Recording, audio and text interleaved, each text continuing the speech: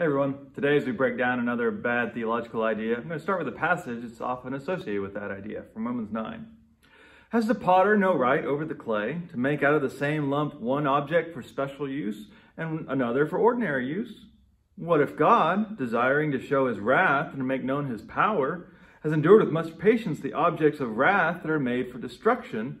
And what if he's done so in order to make the riches of his glory for the objects of mercy? Which he's prepared beforehand for glory.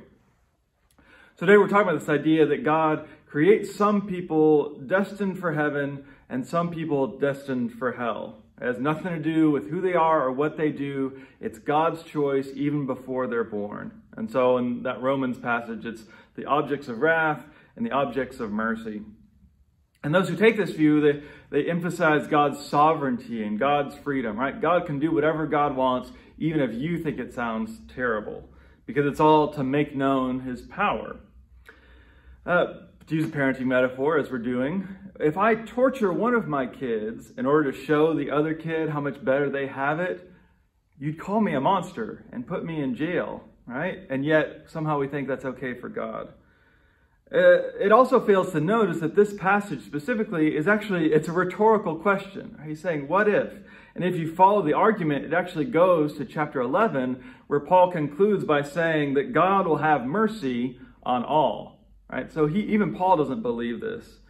Um, creating somebody just to burn them forever is horrific, and it is ungodly. And if you feel that way, then you're probably right to feel that way.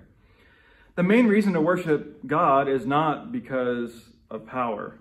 Uh, you know, if that's the case, then God is the God of the Bible is no different from Odin or Zeus. We're just saying that our God is a little bit more powerful than those gods. We believe that the God Jesus proclaims is fundamentally different. That the God Jesus served and loved is not a God of power or of, of freedom, but is a God fundamentally of love. See, power is controlling, right? It would decide ahead of time who goes where and forces everything into some predetermined plan.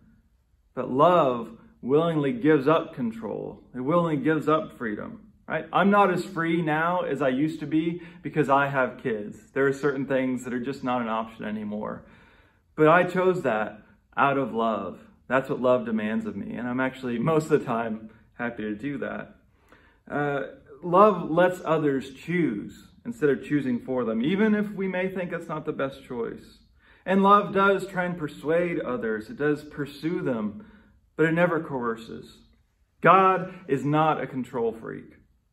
Even though, honestly, there are some situations that I wish God would take a little more control over. But we trust that if God is love, then all of this is moving towards love, and that God's mercy truly is for all.